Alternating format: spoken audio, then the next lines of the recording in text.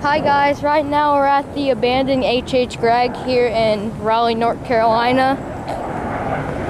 Here's the car return that we're gonna start with. I'm pretty sure that sign used to say H.H. Gregg. Sorry if the audio is terrible, there's a plane right over me.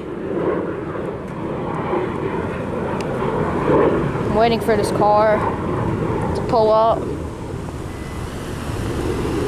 Okay, so here's H.H. Gregg. No one's bought the building yet, which I don't really get. Because uh, who wouldn't buy this building, to be honest? See if we can zoom in right there. Oh, look, there's the digital home theater sign still up there. I don't think it will open.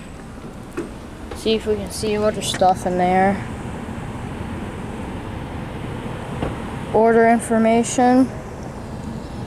I'm pretty sure this store closed May of 2017.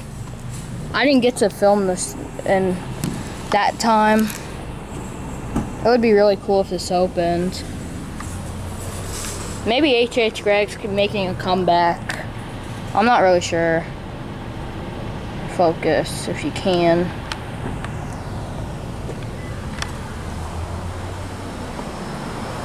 The car.